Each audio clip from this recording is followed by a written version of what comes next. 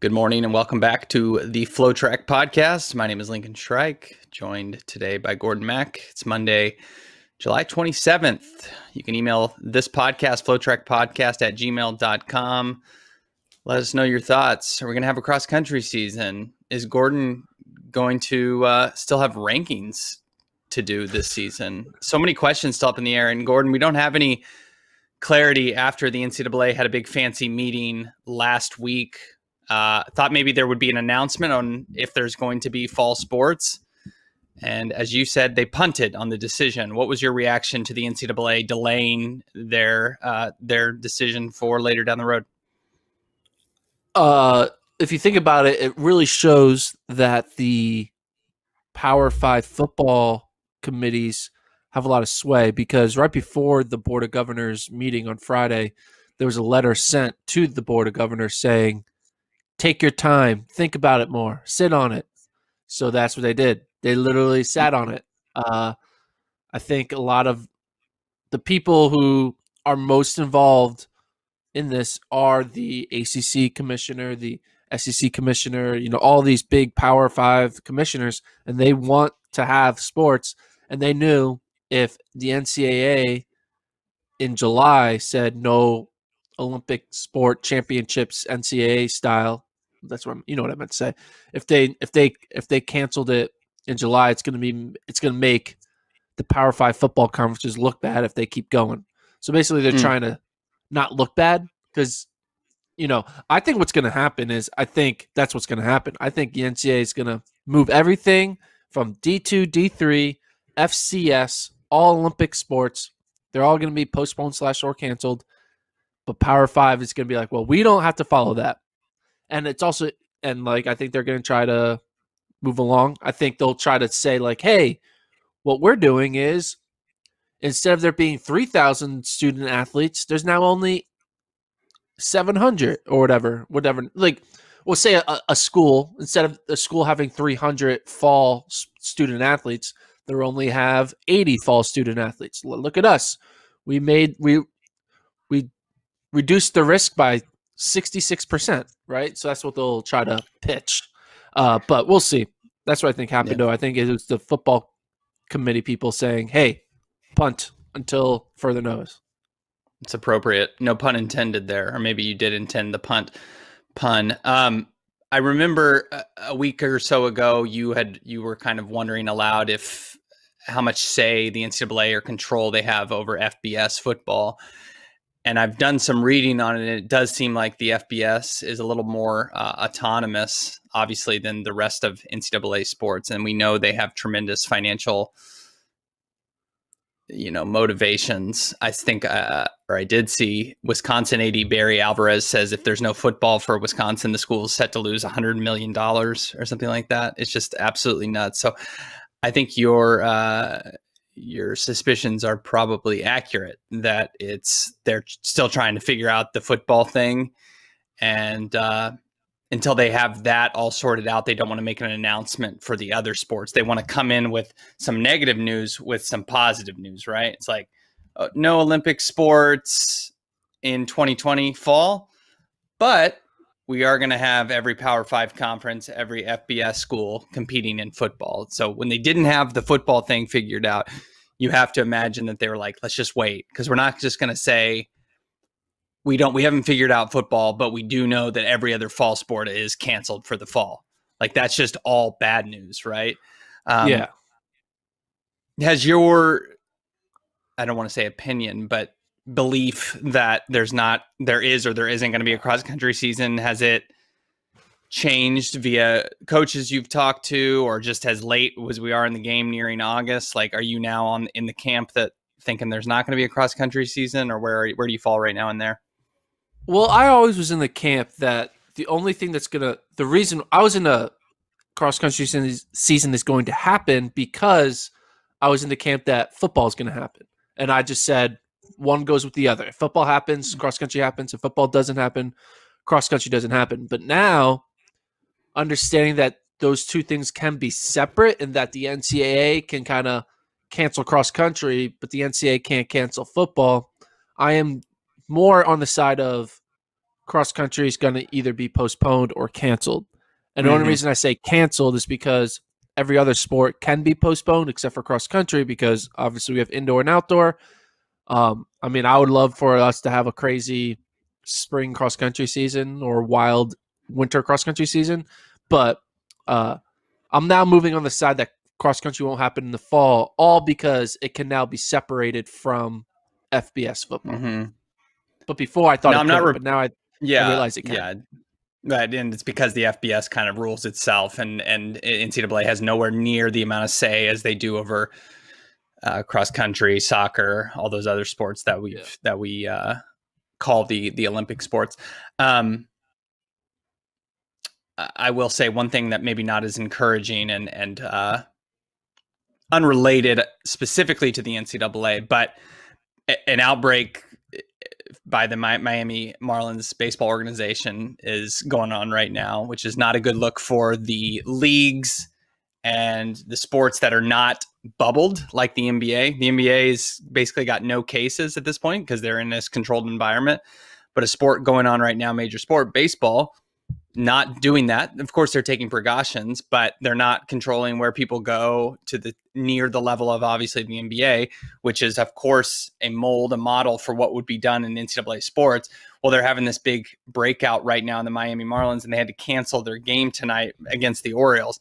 That's a situation you can't avoid if you're student athletes, and uh, I think that's going to dictate not just. I mean, I think they were considering, strongly considering canceling fall sports before anything happened with the Miami Marlins. But that's a situation you don't want to have as a PR crisis at, at best and, and a really serious health risk at worst that you can't avoid. And uh, maybe they can control it with college football because there's so much money involved, but the other sports, they just can't put the resources in uh, to bubble the athletes. And, uh, I don't know. Not not a good sign when so many things are breaking out, regardless of where you fall of how dangerous this this virus is. I mean, it it it's obviously killed 150,000 people, but it's just uh, there's no interest, I think, from the athletes and the coaches to put themselves in in that risk. I mean, some people are going to be different different opinions, want to run cross country regardless of the risk, but you know, pushing the sport back is interesting. I think we've heard some rumors, and I'm not reporting this, but you know, pushing cross country back to the spring, like what would that even look like? Because athletes are used to running track, and you also have the top level distance athletes who would want to compete at the Olympic trials. Are they really going to be running a cross country season while also preparing to run in the summer the the Olympic trials? It it pose you know it, it poses a ton of logistical ish uh you know roadblocks and issues that would be very interesting as from as opposed to having no cross country season, I would love to have a, a March, April, May cross country season, but I, I'm curious how it could possibly work out. I mean, if you think about it, the the best athletes in the U.S. all ran cross country in February, and it was fine for them, right? I mean, we had USA Mhm. Cross in February, and that didn't really screw up any of the the top elite distance runners for USA's down the road in summer. So, I mean, Yeah. the only negative is like it's gonna you can't have February cross country if you live in if you're in the Northeast or New England area, right? You're only going to really have February cross country if you're in Florida, Texas, the Northwest, California. So uh, that's a factor. I mean, I'm sure there's a lot of different thoughts, right? Cancel it, do it during indoors, do it during the spring, this, that, the other thing. In the end, it's all who knows, right? We're all just kind of uh, projecting potential ideas against throwing throwing ideas against the wall to see what, what sticks. Uh, I think though we're just waiting for that first uh, ball to drop to confirm that it's not happening in the fall. But until then, Yeah. we're all just going to be having the same type of podcasts every day. Be like, all right, cross country is now happening in March. Nope, no, it's February. Okay, no, we're, no, we're moving to May. All right, no, it's back to November. Okay, no, we're doing it. We're doing it all in August. You know, I don't know. It's just so much uncertainty. Yeah. Um. any track happened Yeah. this weekend. Yeah, we did have we did have some track. I, th- I felt like I was going to say something else about crop, but we'll just we'll just leave it at where it's at. I, I I'm tired of You got to you get the rest of 2020 to talk about it. Yeah, I guess so. Uh, yeah, we did have some track. Continues with these small meets put together, and the sprint the sprinters are in Florida and Texas, scattered some places internationally, and then we had some distance action. But we'll start with the sprinters. Trayvon Bromell, we were excited when he ran 1004. Now he ran 9 beat Noah Lyles, and is now getting to the point where it's like Trayvon Bromell is fully back. Like if there was an Olympic Games this year, if there was an Olympic trials, obviously we're already past that date, but the pretty good shot this guy makes the team. I mean, he is like 2016, 20, 2015. Yeah, I think it is too. Um, he's he's seems like he's back to his 2015 form when he's in 2016 when he's running the nine eights and won a world indoor 60 meter title. Uh, did this surprise you at all? Yes, it did. Uh, but it also didn't. I mean, I, I, I remember debating with a, a fellow colleague what the 1004 meant, and I'm meant, yo, 1004, that means he's like he's back. And they were like, nah, man, you gotta run sub 10. That doesn't matter. You got, and I was like, no, you don't understand. Like 1004 season opener against this competition is like a legitimate sign that he is back to the elite level. And mm-hmm. then this happened, and then I followed up to that text like, see what I mean? And he's like, all right, now I believe.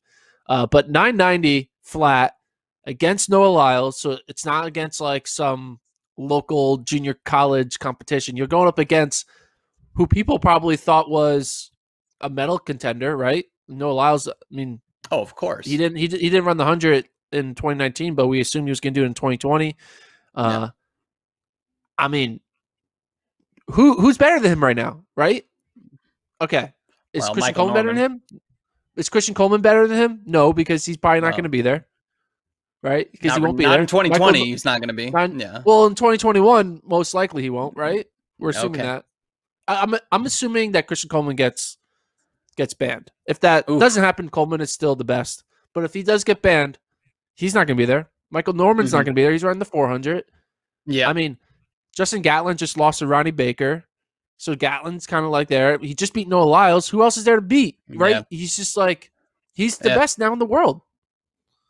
Wow. How he is.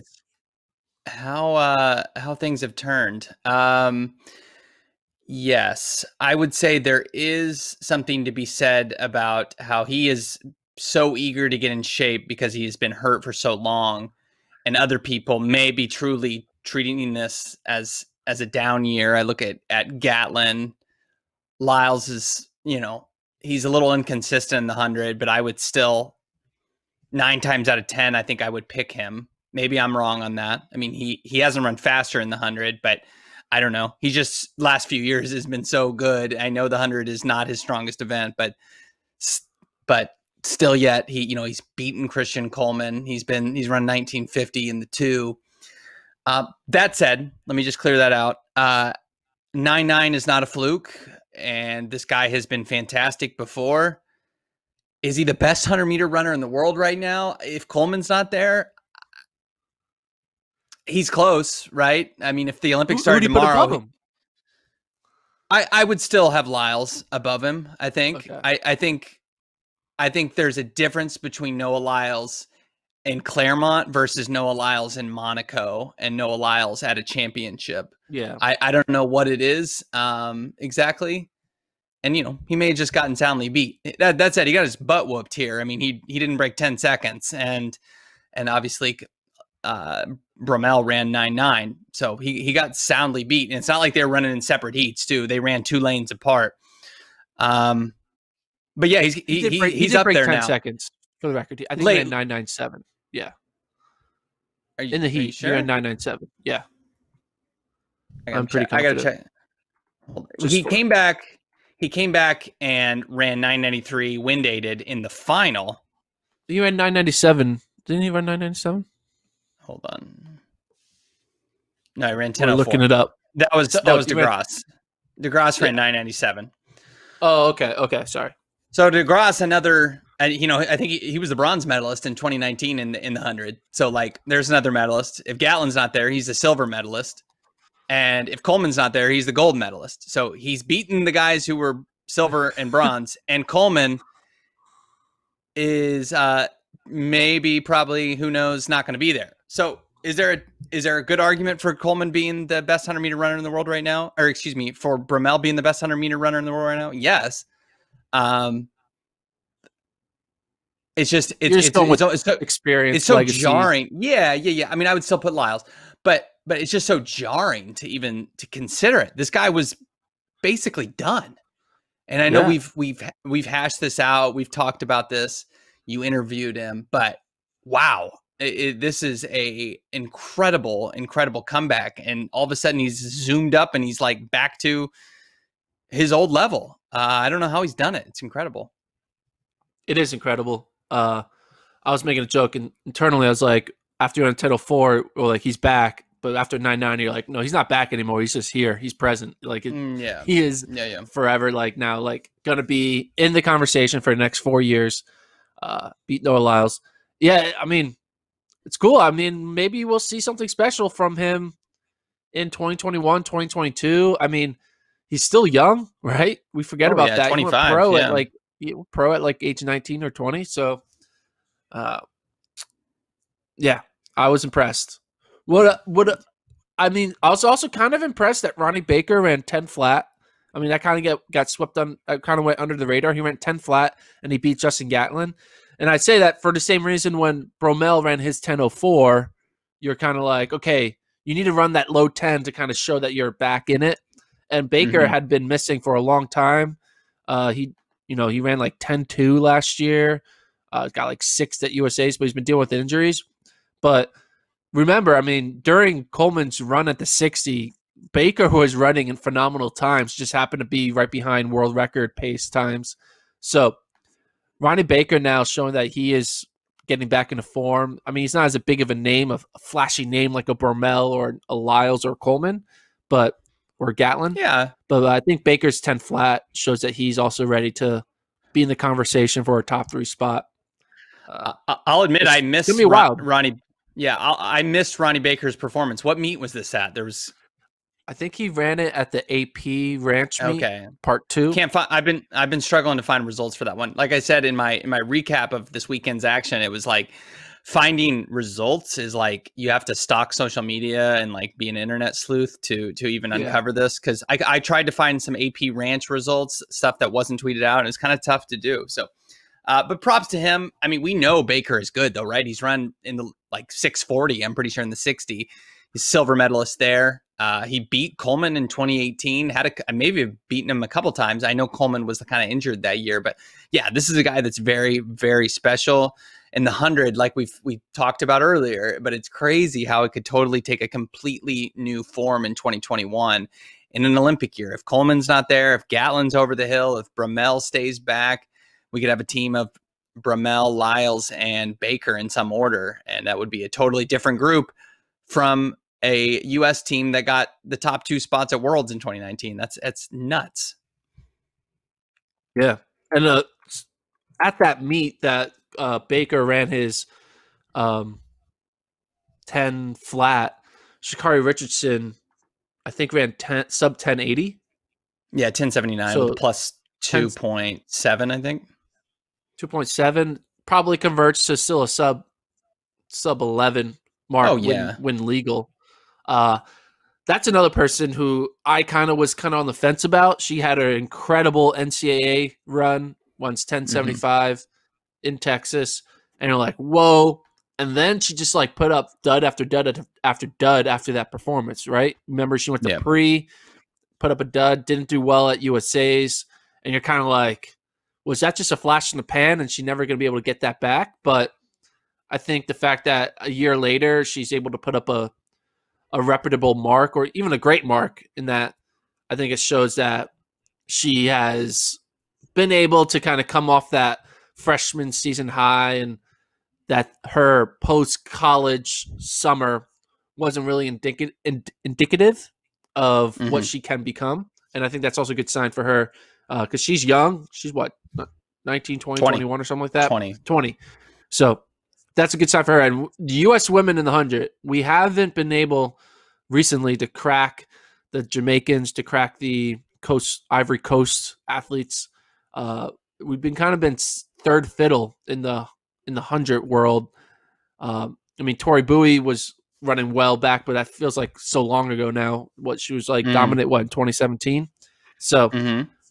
maybe Sha'Carri can lead the new new wave of athletes to try to start competing again against the Shelly Ann Fraser Pryces, the you know the Ivory Coast duo. You know, see what they can do. I think it was clear to most people that she was totally burnt out after NCAA's last year, getting last in the in the U.S. final. I think pulling at not making the 200 final. She peaked completely at NCAA's, and it re- she was rewarded, I imagine, with a hefty contract after that 1075. Uh, but the talent doesn't go away. Uh, 1079, even if it's a little wind dated, is is spectacular time, and just the separation she got early. She's a huge, huge talent, and you know we've discussed this on the show before. But even if she never runs 1075 again, she can still be very, very successful. But I expect her to be making teams. Uh, the U.S. in the women's hundred is still it's not a strength, right? I mean, there are some names, some people, but you know, you got English Gardner who seems to always be hurt. Teahna Daniels was solid last year, made the world final, but she hasn't run any times that are going to light the world on fire. Uh, you mentioned Bowie; she seems to be over the hill. Uh, Morolake Akinosun, good, not great. So there's room for Sha'Carri Richardson to take over the U.S. hundred on the women's side, and she certainly has the talent to do that. And I think that showed this weekend. She hadn't broken 11 seconds when legal. She still hasn't, but you know, I think we can convert this since that 1075. So uh, she's rounding back into form, and if she gets any European meets this year, I know it's tough to for Americans to travel to Europe, but it is possible.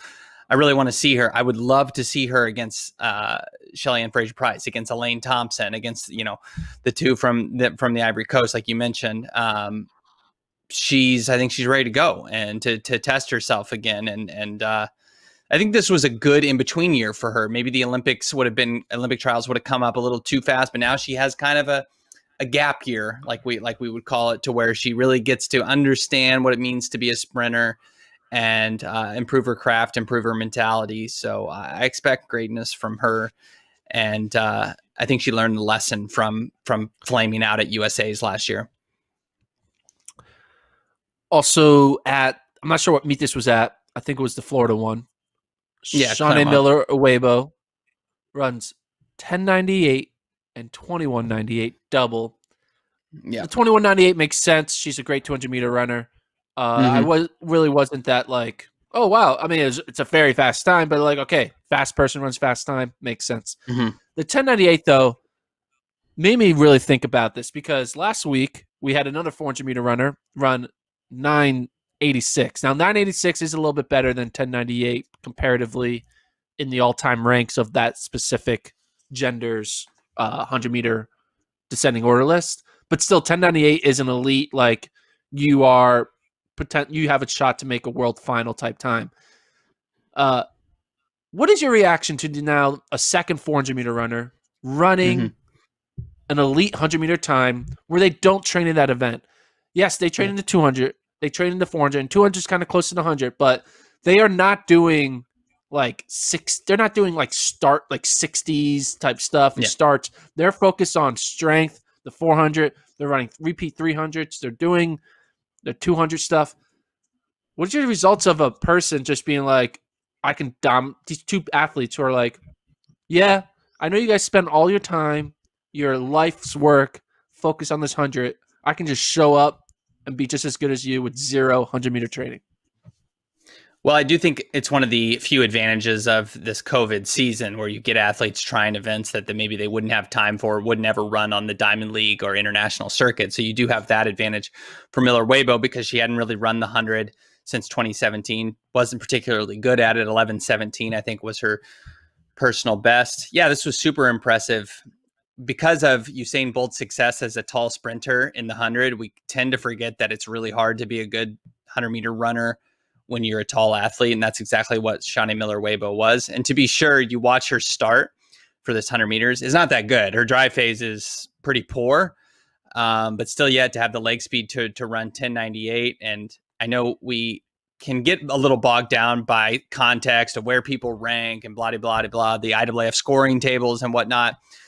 But if you do go off those IAAF scoring tables, which Jon Mulkeen of World Athletics does, uh, this ranks Shaunae Miller Uibo as the fourth best all around sprinter across the 100, 200, and 400 meter of all time, behind Marita Koch of Germany, Flojo, number two, and then, of course, Marion Jones, who probably shouldn't be on that list. Um, you can make no, the argument Allison some other athletes there. there.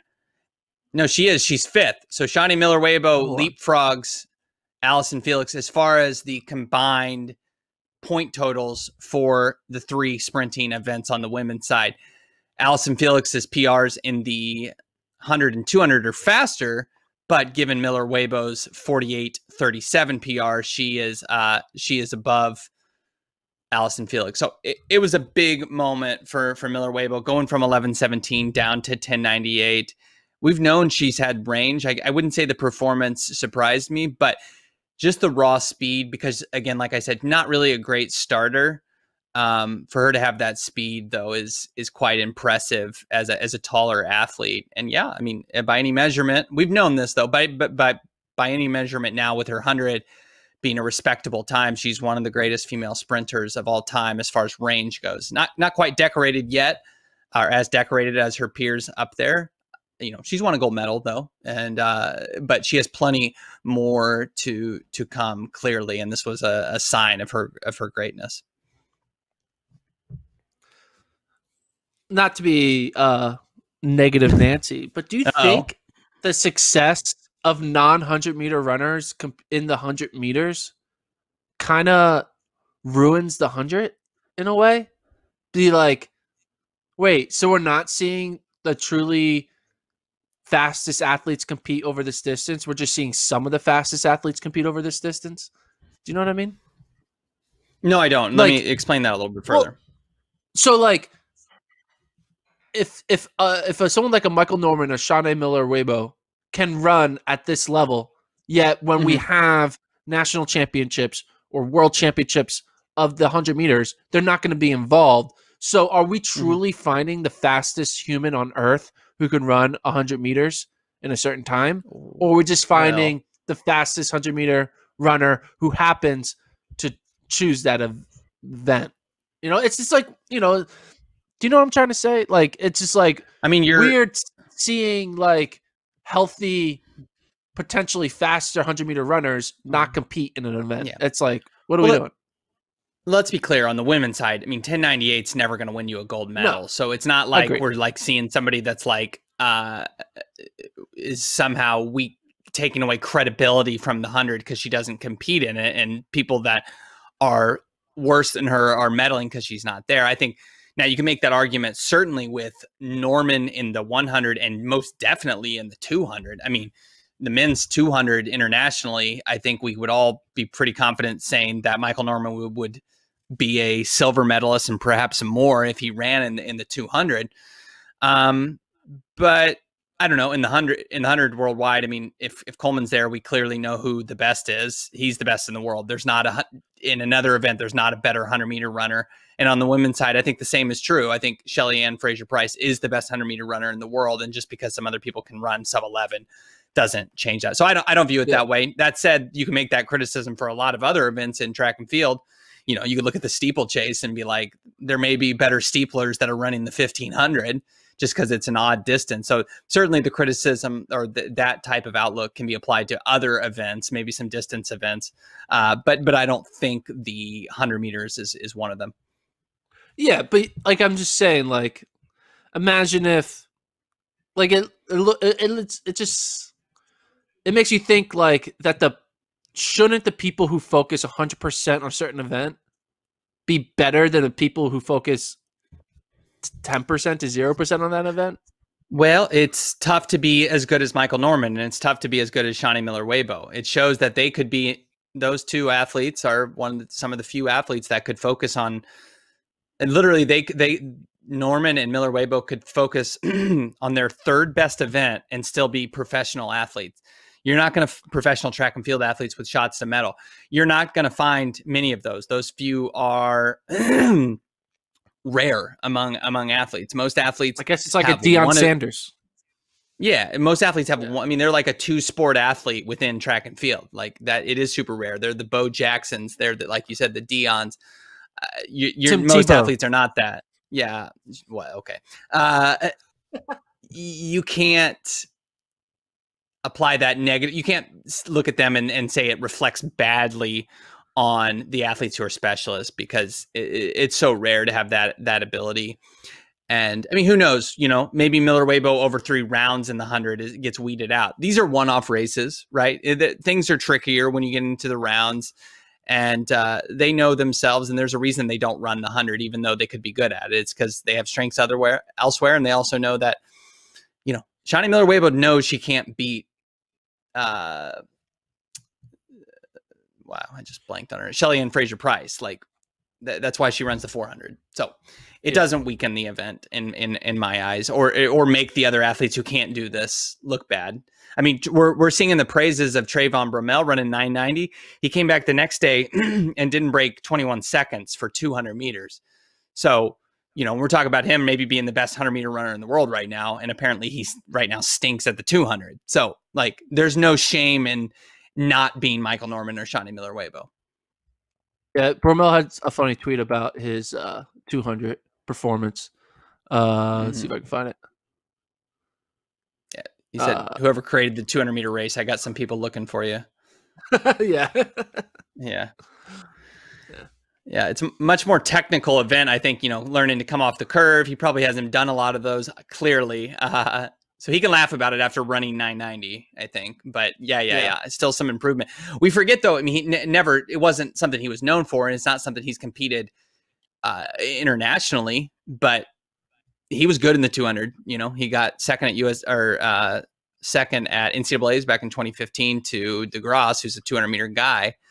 So he can figure out the 200 as well. I imagine he's a 100 meter runner going forward full time, but he can get that distance figured out too.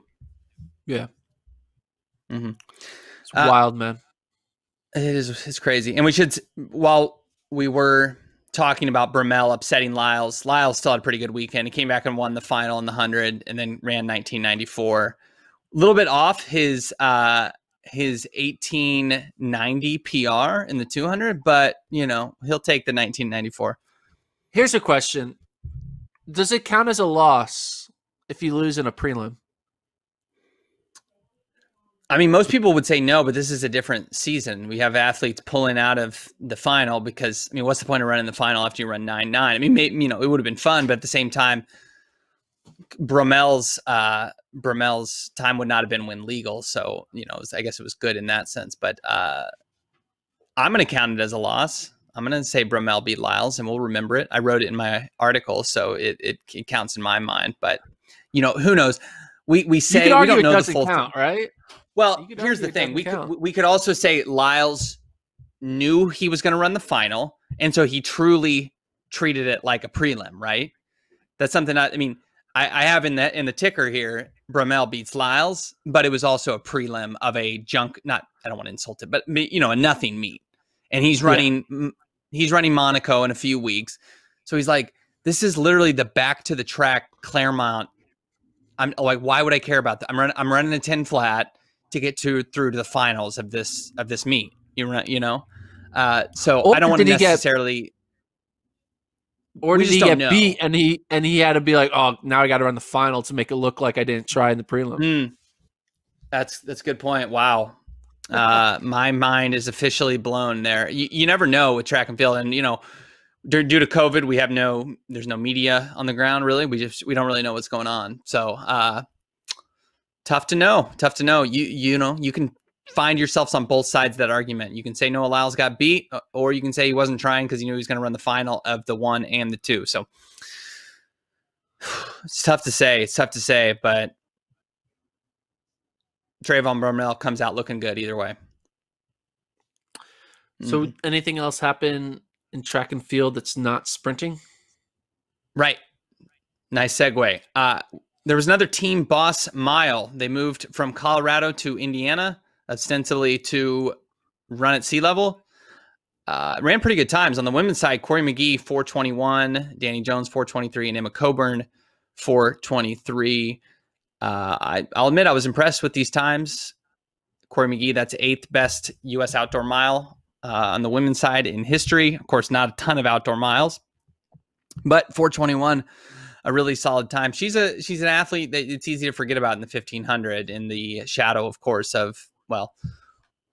Houlihan, Jenny Simpson, Kate Grace, Sinclair Johnson, Nikki Hiltz. Uh, I mean, you name it. There's there's a, tons of athletes there but uh, still a very very good runner and uh, like i said this time was was surprising and impressive to me it converts to about a 402 for the 1500 mm-hmm. 421 yeah yeah yeah which would be a pr for her. Um, finished really really well. I watched it on the usatf facebook page. Finished really well and and was in was behind coburn and then kind of took advantage of the fact that she did none of the leading that is mcgee and really you know did a slingshot around around her teammates. So what it means in in a season as this, I'm not really sure. She's run well in these kind of like small boutique mile races before in the last few years hasn't been able to translate it to success at USA's, but it's a it's a it's a nice PR for her. Cut off close to six seconds from her outdoor best, uh, and I mentioned where it puts her in the U.S. all time. So it's a really nice race and weekend for Cory McGee.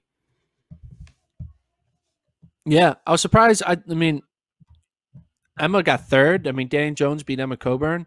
Uh, mm-hmm. I, I, mean, Emma's a great miler. I mean, we see her run some good fifteen hundred like indoor miles during the yes during the winter season. So it's not like Emma's like, oh, the oh you're you're, you're com- coming down to fifty because most great three K steeplers are great fifteen hundred meter runners. So I was also impressed with what Dani Jones did, getting second, beating Emma Coburn. Dani Jones still unsponsored, right? Still has yet to announce her sponsorship. Yeah. Right? No. Uh, nope. No. Nothing yet. No. Man, you can't feel for the people like Dani Jones and like Oliver Hoare and all these great like graduating seniors who just like in any other year they would be having being money in their pocket right now. Like they would have signed on the dotted line in you know in June and they would have been pulling in their first paycheck and they don't get mm-hmm. to do mm-hmm. it. Sucks. I will say uh, for both Joe Klecker and Oliver Hoare, they both in the last week have signed with Flynn Sports, the uh, track and field agency. And on both tweets from Flynn Sports account, they say new sponsor announcing soon. Stay tuned. That was for Klecker, and then for Hoare, sponsor announcement coming soon. Stay tuned. So maybe they're just being optimistic. They're putting good energy out into the world, or you can believe that they have deals in place and they're just waiting to to make an announcement. So things are not everything is lost, but as of now, is it is it just still Nia Akins that is that is signed from the 2020 class of NCAA athletes? I think that's correct. I think so. There might be someone else yeah. out there that we don't know about, but mm-hmm. it's wild. If if if if there was a if there was a, a like a pool a, a pool or a gambling pool out in fall of last year. Like, who will be the first collegiate athlete to have a contract and also be the only one with that contract for a whole month before someone else gets one mm-hmm. or multiple months? And what what was the money line on picking Nia Nia Akins? Yeah, it was well certainly lower than Dani Jones, right? Um, yeah. You know, it, there's also you know people are pitting brands against each other. They probably have offers out there, and they're just you know waiting to make sure it's the the best one. If if Klecker and Hoare are about to sign with a sponsorship deal, you can be sure that Jones is as well. To be honest, I'm pretty surprised given that she trains with Emma Coburn, New Balance, Cory McGee, New Balance, that there hasn't been a deal yet for her to go to New Balance, but we don't know the economics of it. We don't know where with the budget is there for New Balance, for Nike, for Adidas, or what have you. So uh, definitely, you can say COVID has certainly slowed the money available for these athletes because yeah, we would used to we you know we'd have 10 to 20 athletes signed by this point in a normal year if not more. So uh, but i i expect those to be coming in the next couple weeks. Yeah. And it, i would think i mean we might have talked about this in a previous pod. Do you think any of these companies when they're feeling hit with less people buying their product because of covid or whatever that they're going to just start sponsoring less athletes and be like hey we need a everyone else is doing a, a budget cut the uh, athlete sponsorship dollars we need to cut by 30%. And so 30% of athletes with this sponsorship are not going to have one in 2021. Do you think something like that will happen? Yeah.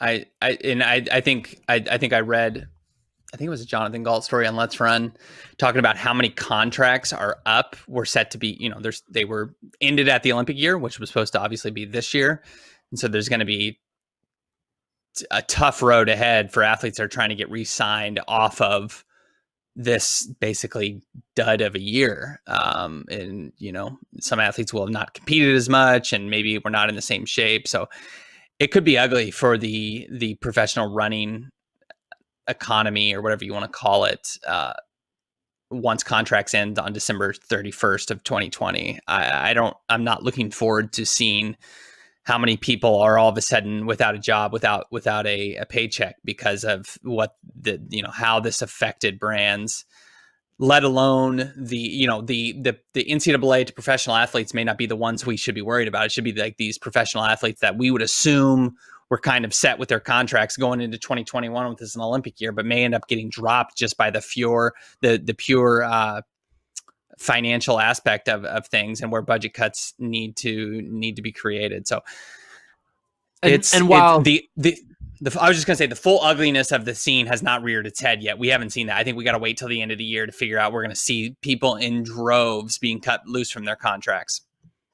Yeah, and you think about the the butterfly effect of that. I think that's one the right phrase. Butterfly effect is Sure. that like yes, there's going to be some people who can still go unsponsored and keep training and get through an unsponsored year and then maybe earn a sponsorship back. But there's going to be a lot of potential like talent that will just cut their losses and be like, all right, looks like I'm just my professional athlete career isn't happening because of this Mhm. moment. But maybe there was like people who decided to hang it up that shouldn't hang it up and actually could have became, you know, great athletes in 2024 that we just will never know because they weren't given the chance in 2021 to get paid, you know. So it's like I mean, you'll never be able to prove it, right? You'll never be able to prove that this athlete who retired at the end of 2020 because of COVID would have gone on to be an, an Olympic Mhm. great in 2024. But I mean, there is probably going to be one. There's going to be at least one person who retires because of yeah, COVID course. who would have been great. We'll never know who it is, but it's just kind of it's kind Right. of sad, right? You know, And I, mean, I would say that that type of situation happens all the time, but it's going to be exacerbated, right, by this COVID Yeah. situation and athletes that are going to be getting dropped or not having their contracts renewed because of the the pandemic and the financial strain it's put on companies.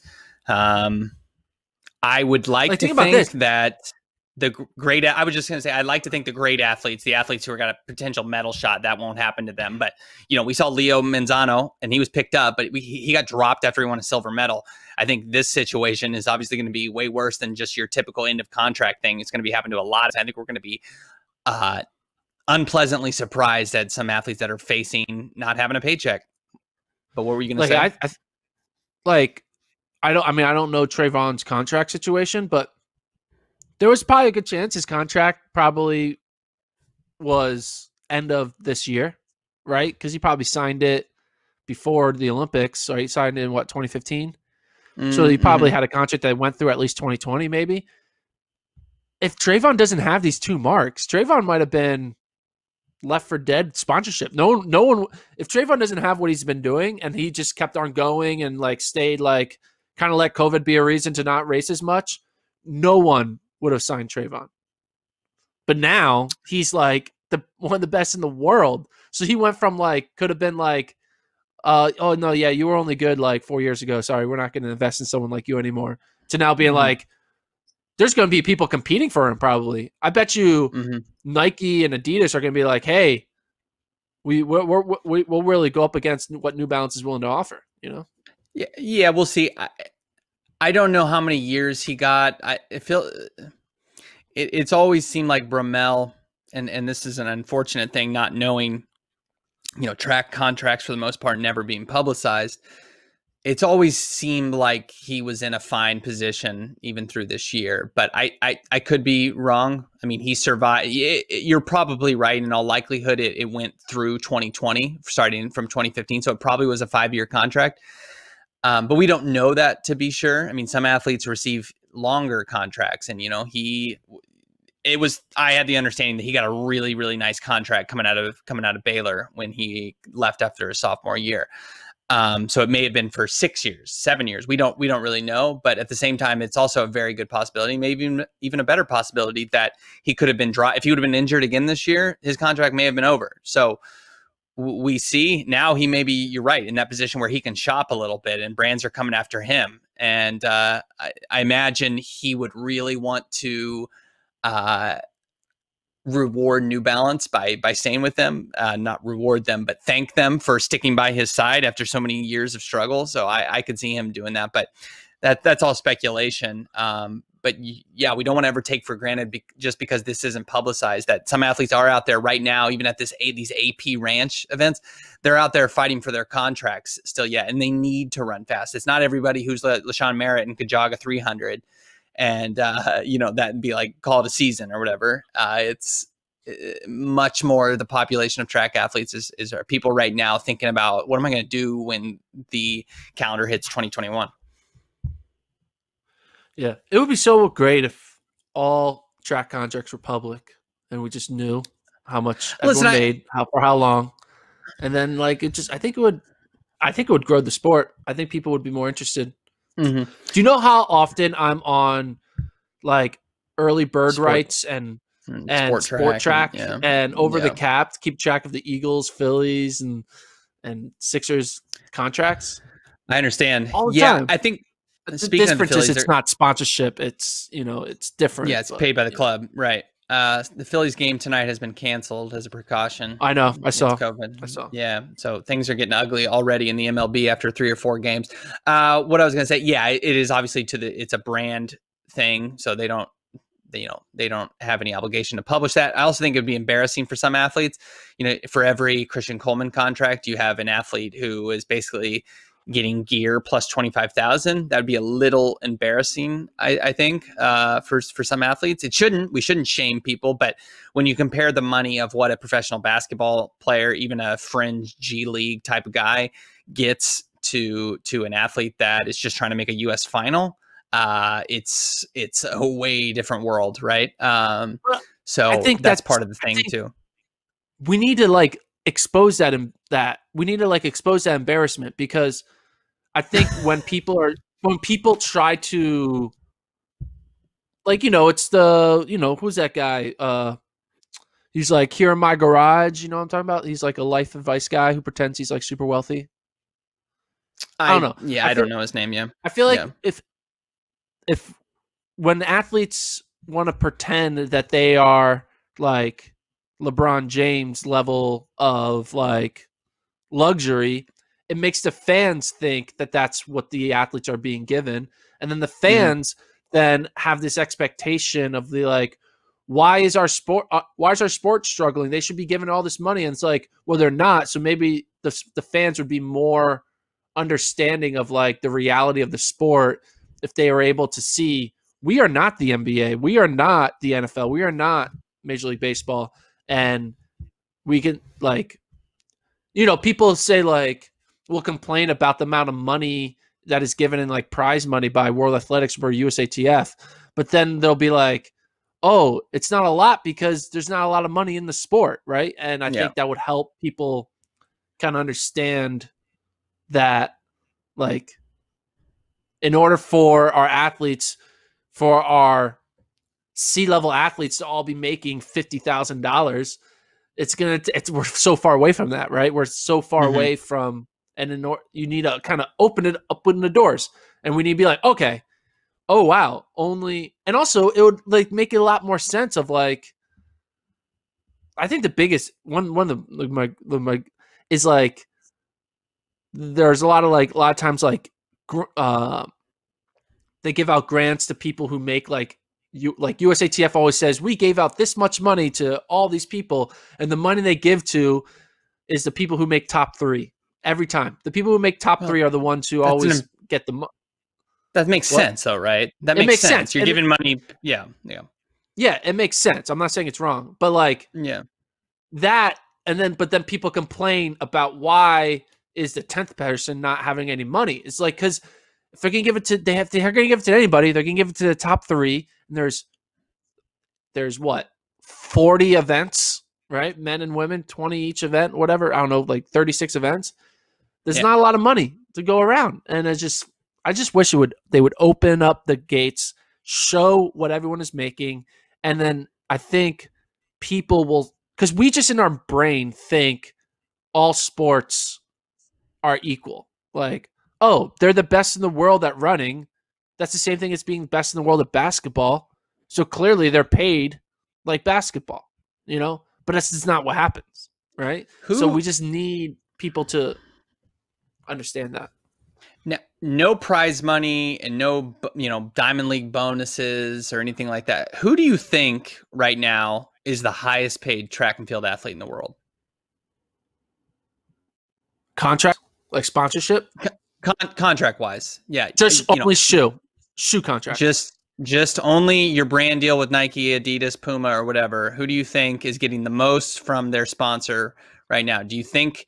Do you think it's Coleman? Do you think it's Lyles? What? Uh, do, do, I mean, I I have no idea. It's crazy that we spend so much time in the sport.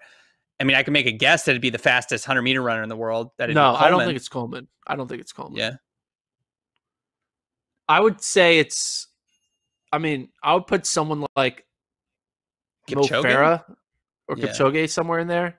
I think they have Mo Farah. I could see Yeah. because like the Brit, like he's like he's like the LeBron James in Britain. You know what I mean? Like Well, a football, a soccer player is the the LeBron James. he won like, but yeah, didn't- but didn't he win like Man of the Year or something like that? Athlete of the sure. Year. I mean, he is Sir something like that. Mo. Maybe that's right. Sir but- Mo, yeah. I would say Mo. Okay, maybe I'll just take away the international aspect because internationally they look at track differently than Americans look at track. I'd say of Yeah, yeah. Americans, I would say this is just a guess. Sydney McLaughlin. Yeah, That's, what I would say. It's a pretty good guess. Her marketability is obviously significant, uh, uh, even relative to to Coleman and Lyles. I, I feel like that's a pretty solid guess. Um, I I would put. Well, here's the thing, because Lyles signed his contract coming out of high school, and he was good, but he was nowhere near this level. Yeah, McLaugh- McLaughlin signed a contract, and she was, you know, not as good, but I mean, at this level, at was it was it was it was already a medalist on that level, was an Olympian at 16. So I think Yeah. safely you could probably say she's the highest paid. Now the question becomes, and we're just we're just ending this with a bunch of speculation. We have no idea.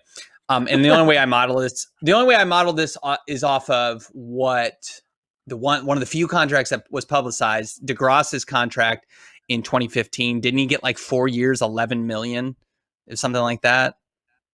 Yeah. So it was crazy. It was Okay. It was a lot. So Yeah. how much do you think somebody like McLaughlin is making on a contract? How much do you think she makes per year, just shoe sponsor salary? Five million? I don't know.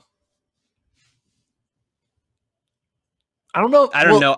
I don't know either. I don't know. It's crazy we, we don't know, but we have no idea. We have no idea. Yeah, maybe Mhm. four. Four or five million. It's fair. We could put this out to the know. out to the out to the world. Uh, how much do we think athletes? I do think though. I feel like a. I think a lot of distance runners aren't making millions. Like I, I, Mm. I don't think. I don't think Shelby Houlihan is making a million dollars a year. Oh, probably not. No, no. I mean, I think But- Galen Rupp probably is, but I don't even think Galen Rupp's making a million dollars. well, he's definitely made a bunch of money throughout his career as far as a think Galen- athlete goes. I think Galen probably makes. This is this is just guessing like two hundred to No, three hundred way more. dollars. Way more, way more. Sure, certainly way more. There's no way he's a two-time medalist. No, no, he's already a what? A three-time Olympian? No, he's he makes more than 250k. I guarantee you. Uh, I would be stunned if it's. I, I I imagine it's right at about a million, eight fifty to a million. I could be wrong. I uh, but I would be surprised if it's if it's that little. That's not very much money for someone who's as accomplished as he is.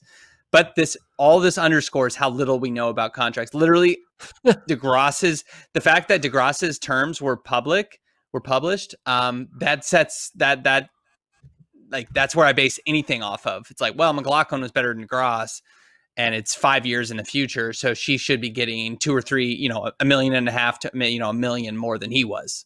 But we have no idea, right? These don't become public. It'd be nice. I, it, we're living in a dream world, though, if we think that these will ever things will ever change. Um, and the reason we're not public track and field because- yeah, go ahead. yeah, yeah. the reason why they're not public is if they were public, then uh, people would make more money. Mm-hmm. Yeah, because God the reason because because you know because there's no advantage for Nike to tell people how much they're paying other athletes because then they'd be like, wait, I'm better than him. You should give me as much as him or her, you know. And then they're Yeah. like, oh crap, now we have to give more money because everyone knows how much It each other make. Yeah, it would kill. You would think. I mean, you are locked into a contract, but it and and athletes have nowhere near the power of say like. Uh, a, a football player that demands, you know, that that sits out, right? Or you know, it's not you're not going to Yeah. have a Le'Veon Bell situation where yeah. where an athlete's like, I'm sitting out the Olympics until I get a pay pay upgrade. Nike's just gonna be like, cool. Well, we saved that three hundred thousand, I guess, because they're not competing. Uh, they don't even care, if, you know, if you're a gold medalist. So you don't have that leverage power, and certainly you would lose that. And and and the brands have tremendous interest to not have that public, because if you find out that X athlete who is not as good as you on the track makes more than you, then you and you're the same brand, and you're the same uh, under the same sponsorship or under the same brand that's not a good look. So they obviously have tremendous incentive to keep those private, and that's why we'll never see those because Nike runs the sport. So and other brands, you know, to a smaller degree, do as well. So. All right, uh, that will uh, do it for us on a Monday morning. I think it's Kevin and Gordon back with you tomorrow. Uh, but until then, we will see you.